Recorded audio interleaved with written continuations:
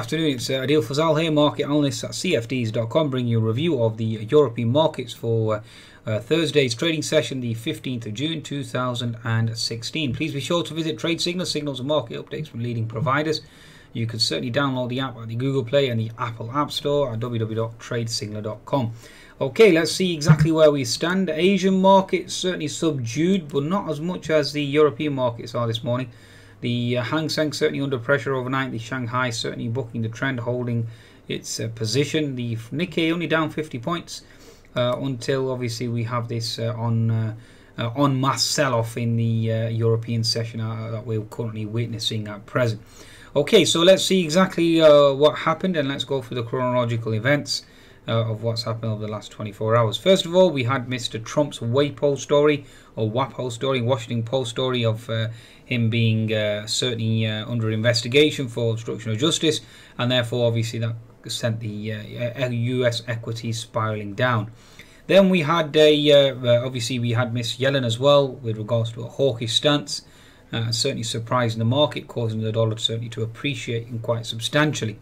Okay, now then we had this morning in terms of economic data wise, uh, we the major market moving event really was the uh, well has been the uh, weaker retail sales from uh, the UK uh, this morning, followed by the weaker European trade balance, and then subsequently followed by the shock announcement from the BOE uh, with three potential um, BOE members arguing for a rate hike, which again very similar to the the actual Federal Reserve. So you have Saunders, McCafferty, and Forbes, although Forbes is due to leave very soon. Three individuals certainly arguing for a rate hike, which again is risk negative and therefore hurts the uh, equity markets. And that's exactly what's uh, ensued. Now, if you look at the actual FTSE 100 chart, let's just bring this up for you. You can see that we've certainly dived. The daily chart now is coming into a previous resistance equal support, so it certainly is coming into support, which is a historical pivot low uh, as well around the 7380 zone. So again, that certainly is coming into support. So again, that was certainly another factor at play in terms of uh, obviously triggering risk aversion. Okay, now we are looking currently awaiting the uh, US data now. Empire State initial jobless claims, import prices. Uh, we have uh, industrial production as well. So again, certainly all eyes on that in terms of the next potential move there. Okay, so uh, certainly Mr. Trump's uh, situation or his scenario, although he has tweeted saying that it's a joke and it's a farce, uh, given the fact that they've failed to get any evidence with regards to collusion and now they want to go for obstruction of justice. So he's certainly dismissing that. And so far, the previous accusation hasn't held, and this looks like it won't stick either. Uh, the other factor as well is uh, Miss Yellen obviously talking up uh, the dollar. Uh, stating that uh, she'll be ready to uh, certainly go ahead with tapering, although the economic data doesn't justify it at all. So again, that certainly is another confusing uh, conundrum altogether as well. Okay, so dollar is currently is into uh, resistance now. If I just bring up the US dollar chart here. Okay, so US dollar certainly coming into resistance and therefore looking for weakness in the dollar. Okay, so watch the Aussie and the uh, the Kiwi certainly start to move higher. That's the what I currently expect. Okay, now let's look at the actual uh, technical picture then for the German DAX. German DAX has been absolutely clobbered today. Currently into uh, 60 minutes support now, certainly looking for a potential bounce here. Daily chart as well, certainly after yesterday's new high. And then we reverse uh, as sharp as today. Very, very puzzling, okay?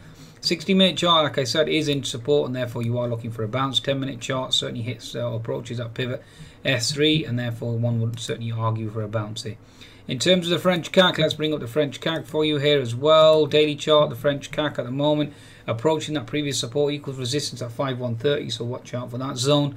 Okay, uh, now whether or not we can recover here should be interesting on the French CAC. And now, given the fact that we have the Euro USD at the 1.16 level on the back of Miss Yellen talking up the dollar, uh, that should certainly be helping European equities. But given the weakness in oil as well, certainly has failed to do so. Oil uh, at the moment currently uh, languishing at that 44 level. Okay, so certainly looking for that to hold. 10 minute chart on the French CAC again.